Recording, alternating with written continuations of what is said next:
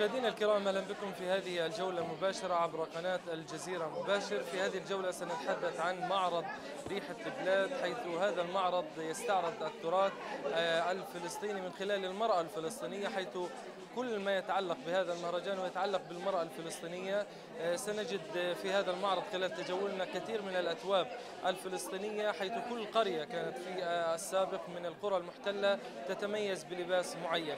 على كل هنا آه، أكثر من آه، زاوية في كل زاوية آه، شيء يتعلق بالتراث الفلسطيني وأيضا آه، في كل زاوية آه، يوجد بعض الإبداع الفلسطيني. أبدأ مع آه، هذه الزاوية حيث آه، نشاهد ونلاحظ هذه الفنانة التي تقوم بالرسم أعتقد بالحناء صحيح؟ رسم بالحنة طيب في بداية عر- عرفينا على نفسك واشرحي لنا شو؟ آه، الفنانة فاطمة الغول آه، المتخصصة هنا بزاوية النقش بالحنة اليوم آه، شاركت بفكرة جديدة للنقش بالحنة المتعارف عليه أنه نقش الحنة للسيدات فقط. لكن اليوم عبرت عنه برسم المدن والمخيمات الفلسطينية. و وعن فكرة المعرض إني أنا اليوم نتكلم عن الأثواب الفلسطينية وكل قرية لها ثوبها الخاص فرسمت اليوم ثوب العروس الفلسطينية بال- بالحنة. آه، طبعا آه، التركيز هو اليوم على المرأة الفلسطينية صحيح؟ صحيح. طيب آه، هذه الرسمة كم تستغرق معك؟ العروس الفلسطينية لها يعني تقريبا الساعة 8 اليوم برسم فيها. بس المدن المدن الفلسطينية والقرى طبعا تحتاج إلى آه، عمل أدق. هذه رسمات أخرى لك بالحناء آه، هذه برضه بالحنة. يعني كل لوحة تقريبا بتأخذ مني من شهر لشهر ونص لأنها آه، متقنة آه، متقنة كثير يعني ما بقدرش ألعب في أي مع في أي زاوية في آه، في أي مرسم فيها. مشاركتك في هذا المهرجان يعني كيف بتشعري من خلالها؟ آه، بصراحة أنا بكون سعيدة لما أنا بشارك معارض آه، تابعة لوزارة الثقافة آه، لأنه بنحس إنه في إلنا جهات بتدعمنا أو جهات مهتمة بفننا أو بالأفكار الجديدة اللي إحنا بنطلع فيها مثلا. مثل فكرة رسم بالحنة على القماش وكمان أتخصص في مدن وقرى ومخيمات فلسطينية هذا بترجم ما بداخلي إني أنا متمسكة بتراثنا الفلسطيني آه، إلى أبعد الحدود. أشكرك جزيلا. آه، نتابع مشاهدينا ال- الكرام آه، هذا المعرض حيث آه، من خلاله كما تحدثنا تعرض القرى الفلسطينية ومساحات لهذه القرى إضافة إلى الأثواب الفلسطينية. تحدثنا أنه في كل مساحة في هذا المكان وكل زاوية في هذا المكان نشاهد مثلا قرية مكتوب فيها عدد السكان أهم المعالم التاريخية الموجودة فيها ومساحتها إضافة إلى الملابس التي تميزت بها هذه القرية. الثوب الفلسطيني ليس ثوب واحد هناك أكثر آه، من ثوب فلسطيني. كل قرية فلسطينية محتلة تتميز بهذه الأثواب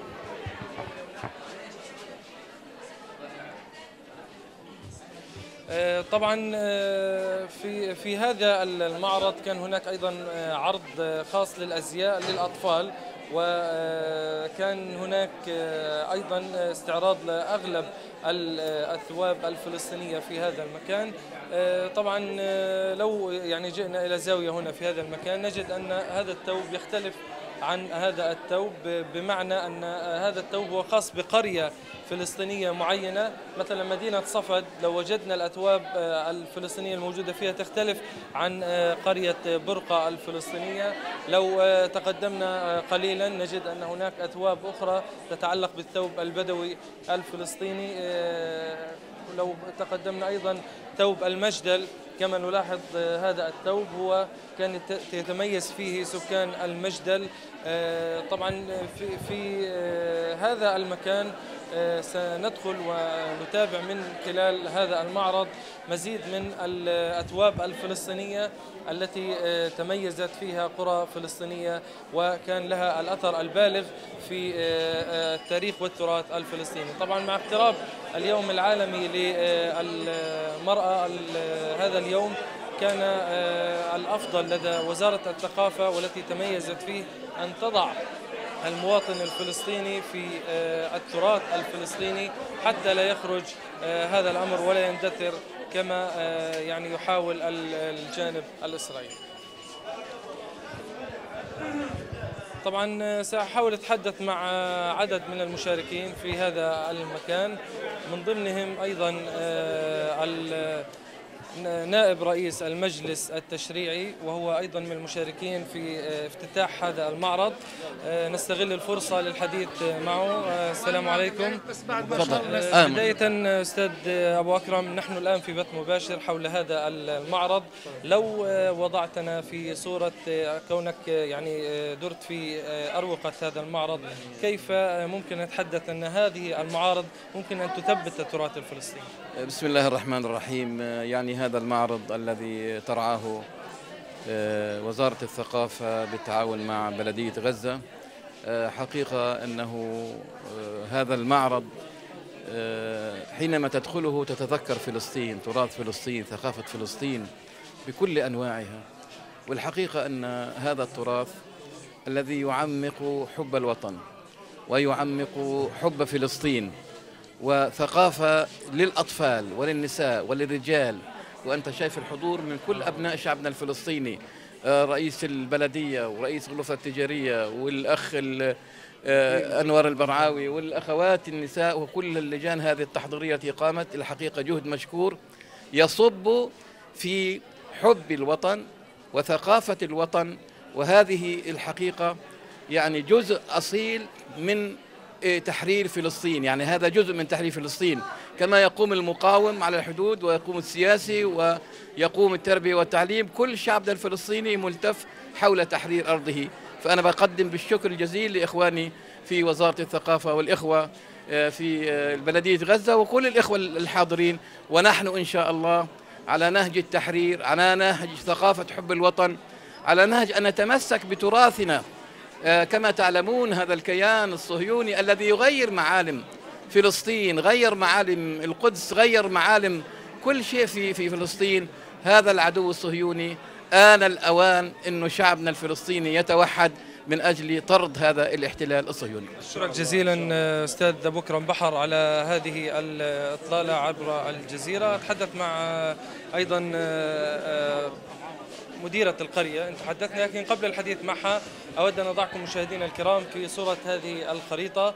طبعا آه، هذه الخريطة من صممها آه، وضع آه، عليها القرى الفلسطينية المهجرة إضافة إلى أن كل قرية ما هو الثوب الذي كانت تتميز فيها تحدث مع القرية بداية نعرفها مهندسة نهاد شقلي مديرة قرية الفنون والحرف بلدية غزة.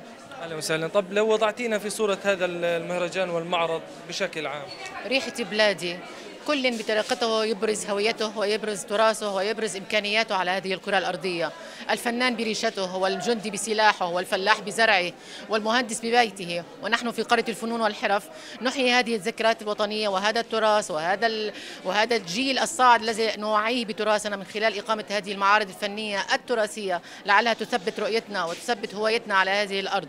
فمن خلال هذا المعرض ريحة بلادي نحاول أن نذكر وإن نسيوا وإن لم ينسوا بعض بعض قرانا المهجرة التي ستعود يوما من خلال هذا المعرض نعرفهم بها نعرف الجيل الصاعد بقريتنا ببلادنا بمدننا الفلسطينية وميزاتها وعاداتها.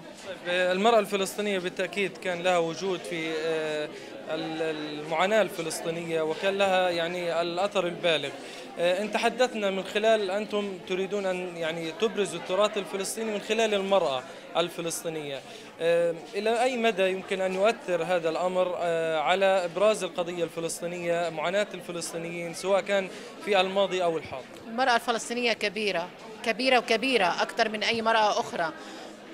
قد تكون نص المجتمع لا ويمكن تكون أكثر من نص المجتمع لأن المرأة الفلسطينية أم لشهيد أخت لشهيد زوجة لشهيد زوجة لأسير أخت لأسير أم لأسير عانت وشافت الويلات في هذه في هذه الحقب القديمة. وهي أقوى امرأة على العالم أعتبرها الإمرأة الفلسطينية. فلها التأثير الكثير الكثير الكثير على هذا التراث وهذا الجيل. أنا ألاحظ أن أكثر من شخصية موجودة هنا تلبس الثوب الفلسطيني. هل هو لأجل الفعالية أم أنكم يعني متعودين على لبس هذا؟ آه، بسم الله الرحمن الرحيم الصلاة والسلام على أشرف المرسلين سيدنا محمد وعلى آله وصحبه أجمعين. فدوى فتح الشرفة رئيس الهيئة الأهلية للاجئين ونفتخر طبعا. نحن يعني ال- الثوب في في دمنا وفي قلوبنا وإن كنا لا نرتديه يوميا أو لا نرتديه في كل لحظة وإنما عندما نرجع إلى أصلنا وإلى تراثنا وقبل ذلك إلى ديننا وإلى وطننا وإلى أرضنا وإلى رملنا وإلى جبلنا وإلى سهلنا وإلى مدننا نحن نعتز بأن نكون مرتديات لهذا الزي. نحن في يوم المرأة كل يوم لدينا عيد. نحن رغم المعاناة رغم الحصار رغم الألم رغم كل شيء نحن أهل القضية نحن أهل الأرض. نحن نهدي هذا العمل بكل عذاباته بكل آلامه بكل جنوده بكل من أتى إليه حاضرا أو غائبا. نهديه إلى أرواح شهدائنا الكرام. نحن عهد علينا أن نحررك يا أرضنا يا ترابنا يا بلدنا مدننا تنتظرنا جبالنا سهولنا ودياننا أرضنا. إننا إليكم عائدون عائدون إلى جنة الله على أرضه. إليك يا فلسطين ثم إلى جنة الجنان مع شهدائنا مع أبرارنا أزواجا أولادا أحفادا رجالا كبارا صغارا. نساء. المرأة الفلسطينية هي عنوان. الرجل هو شقائق النعمان. الرجل هو الأخ. الرجل هو الأب. الرجل هو الزوج الرجل هو الابن. نحن نفتخر بكم أعلامنا رجالنا. ولكننا نقول أن المرأة هي حاضنة الرجال أن المرأة هي صانعة الأبطال أن المرأة في فلسطين عهدا عليها أن تذهب بكم جميعا إلى أرضنا إلى أرض الفلسطين وليس إلى أرض الميعاد وإنما إلى أرض الله إلى أرض المحشر والمنشر. إلى القدس إلى القدس إلى القدس. نحن عائدون بإذن الله. أشكرك جزيلا. آه، هناك زوايا أخرى كما تحدثنا مشاهدينا الكرام في كل آه، زاوية وكل زقاق في هذا المكان. آه، حديث عن مدينة حديث عن لباس هذه المدينة.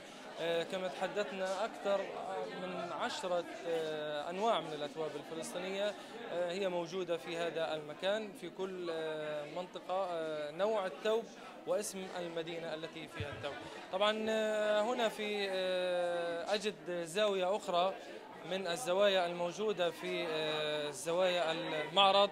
آه، نجد أن هناك جلسة تراثية موجودة في هذا المكان. سأتحدث مع المتواجدون هنا. السلام عليكم.